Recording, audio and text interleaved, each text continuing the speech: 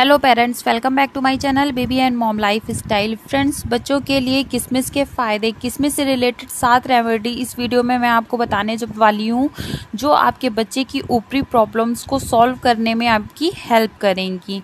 But उससे पहले आपसे एक रिक्वेस्ट है, अगर आपने हमारे यूट्यूब चैनल को सब्सक्राइब नहीं किया है तो प्लीज़ सब्सक्राइब कर लें, साथ ही बेलाइकन को प्रेस कर लें। तो स्टार्ट करते हैं आज का वीडियो फ्रेंड्स किसमिस अंगूर से तैयार की जाती है, इसमें बीज नहीं होते हैं, ये बच्चों की सेहत के लिए बहुत ज़्यादा अच्छी होती है और उन्हें फ़ायदा पहुंचाती है। फ्रेंड्स 100 ग्राम किशमिश में 275 milligram potassium, folic acid 103 milligram होता है। किशमिश कब्ज को ख़त्म कर देती है, साथ ही साथ खांसी जुकाम में भी बहुत आराम पहुंचाती है। फ्रेंड्स तो इस वीडियो में मैं आपको से कुछ टिप्स शेयर करने वाली हूँ। प्लीज़ वीडियो को ध्यान से देखिएगा ताकि आपके बच्चे को इससे पूरा फ़ायदा मिल सके। फ़र्स्ट टिप है, बच्चों के दांत निकलते हैं। उस वक्त अगर बच्चों को किसमिस दी जाती है तो दांत मज़बूत निकलते हैं और सेहतमंद रहते हैं। इसके साथ ही दूध पीने वाले बच्चों को किसमिस पीस कर उसमें शहद मिलाकर दे सकते हैं। सेकेंड टिप है, बच्चों को अधिकतर कब्ज की शिकायत रहती है और ये बीमारी सेहत की दुश्मन है। इसलिए अगर किशमिश को रात भर भिगोकर सुबह पानी पिला दें और साथ में किशमिश भी खिला दें तो कब्ज की शिकायत दूर हो जाती है। अगर बच्चा भीगी हुई किशमिश ना खाए तो पीसकर शहद या मिश्री मिलाकर खिला दें। इससे भी बच्चे को आराम मिलेगा।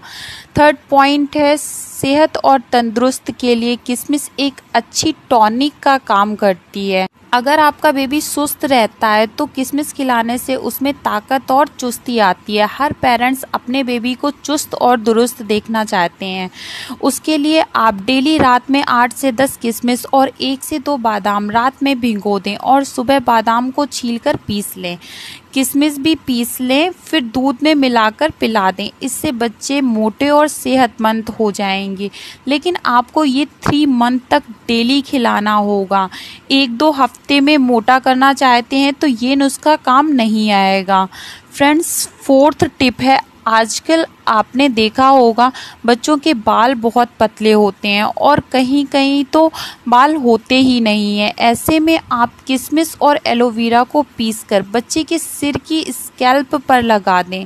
रेगुलर इसके इस्तेमाल से बच्चों के बाल बहुत ही ज़्यादा खूबसूरत निकलेंगे। गंजापन भी दूर हो जाएगा, उनके बाल बहुत ज़्यादा घने और मोटे हो जाएँगे और बहुत देखने में सुंदर भी लगेंगे।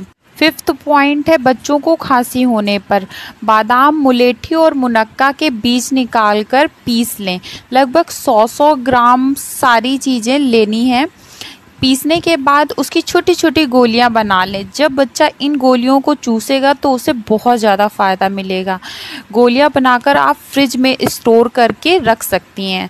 सिक्स पॉइंट है अगर आपका बेबी बहुत जल्दी थक जाता है या फिर वो किसी भी चीज़ को करने की कोशिश भी नहीं करता है तो हो सकता है उसका एनर्जी लेवल बहुत ज़्यादा कम हो या वो थकावट रहती हो उसके बॉडी में। ऐसे में आप उसे किसमिस खिलाएँ, इससे दिल और दिमाग मज़बूत होता है और उसकी बॉडी को ताकत भी मिलती है। सेवेंथ पॉइंट है खून की कमी। अगर आपके बच्चे में खून की कमी है तो किसमिस आपके बच्चे के खून की कमी को दूर करता है? बहुत से बच्चों में खून की कमी हो जाती है। ऐसे में आप किसमिस या किसमिस के लड्डू बनाकर खिलाएँ। लड्डू आपको कैसे बनाने लड्डू बनाने के लिए एक कप खजूर की गुठली निकाल कर उसे पीस लें। उसमें किसमिस मिलाकर लड्डू बना लें। इसको आप फ्रिज में स्टोर कर कर भी रख सकते हैं। आप अपने बच्चे को खिलाएँ। बच्चे बहुत ही मज़े से खाते हैं। सबके बच्चे खाने पीने बहुत नखरे दिखाते हैं तो उनके लिए कुछ नई नई चीज़ें ट्राई करते रहें ताकि वो आराम से इन चीज़ों को खा लें।